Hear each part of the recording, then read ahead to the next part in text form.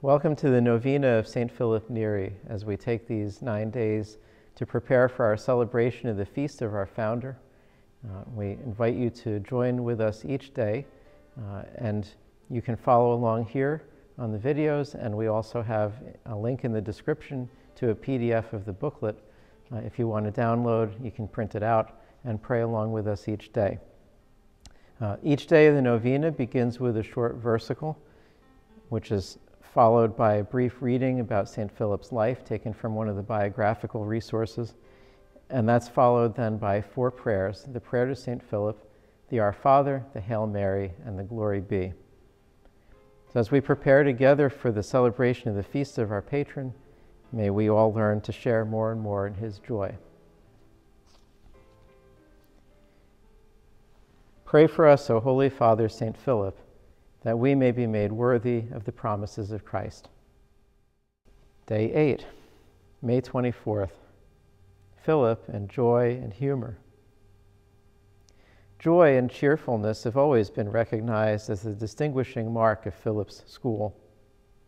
In his own lifetime, his room came to be known as the school of Christian mirth. He could not bear to see anyone else sad.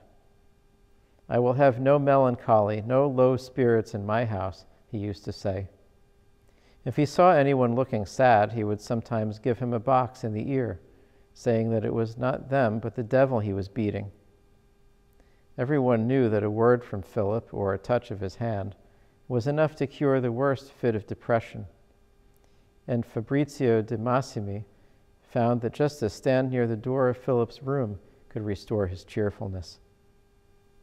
There is a delightful simplicity, too, in the story of how one day he cured a father of the congregation who was suffering from a fit of extreme depression, only by saying to him, Come now, let us run together.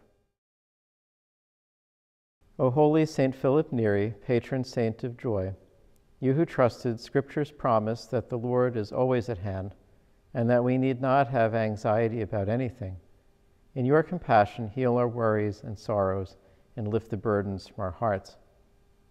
We come to you as one whose heart swells with abundant love for God and all creation. Hear us, we pray, especially in this need. Keep us safe through your loving intercession, and may the joy of the Holy Spirit, which filled your heart, St. Philip, transform our lives and bring us peace. Amen. Our Father, who art in heaven, hallowed be thy name. Thy kingdom come, thy will be done, on earth as it is in heaven. Give us this day our daily bread, and forgive us our trespasses, as we forgive those who trespass against us. And lead us not into temptation, but deliver us from evil. Hail Mary, full of grace, the Lord is with thee. Blessed art thou among women, and blessed is the fruit of thy womb, Jesus.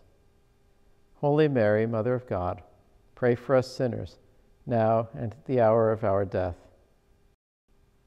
Glory be to the Father, and to the Son, and to the Holy Spirit, as it was in the beginning, is now, and ever shall be, world without end. Amen. Thanks for praying the novena to St. Philip with us.